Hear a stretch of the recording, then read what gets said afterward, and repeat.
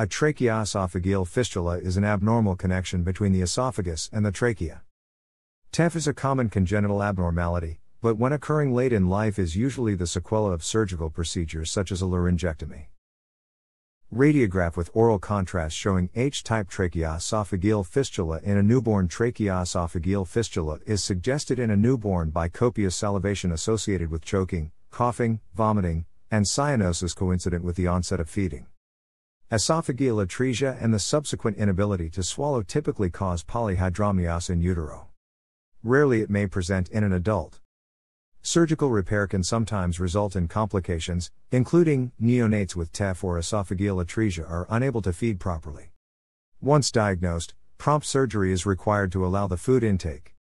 Some children experience problems following TEF surgery, they can develop dysphagia and thoracic problems.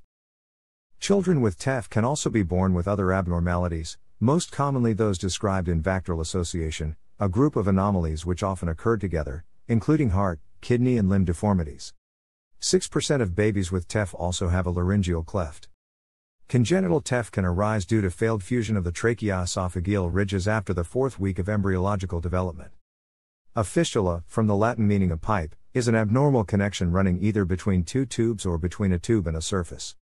In tracheoesophageal fistula, it runs between the trachea and the esophagus.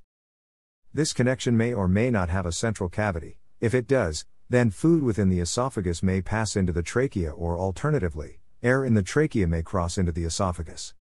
TEF can also occur due to pressure necrosis by a tracheostomy tube in apposition to a nasogastric tube.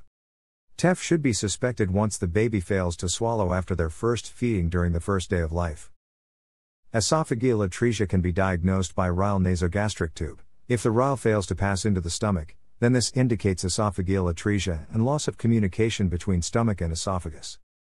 TEF may be diagnosed by MRI, which clarifies the atretic esophagus and TEF, as well as its location and anatomy. Gastrografin contrast swallow should not be used if TEF is suspected, due to its high risk of allergy and severe intractable chest infection. Fistulae between the trachea and esophagus in the newborn can be of diverse morphology and anatomical location.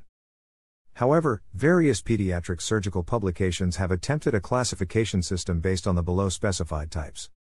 Not all types include both esophageal agenesis and tracheoesophageal fistula, but the most common types do. The letter codes are usually associated with the system used by Gross, while number codes are usually associated with Vogt. An additional type, blind upper segment only has been described, but this type is not usually included in most classifications.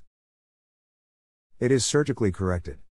With resection of any fistula and anastomosis of any discontinuous segments. Babies often need to spend time in a neonatal intensive care unit for feeding with a stomach feeding tube. Antibiotics, pain relief, a chest drain, oxygen, and ventilation may all be needed. Thanks for watching.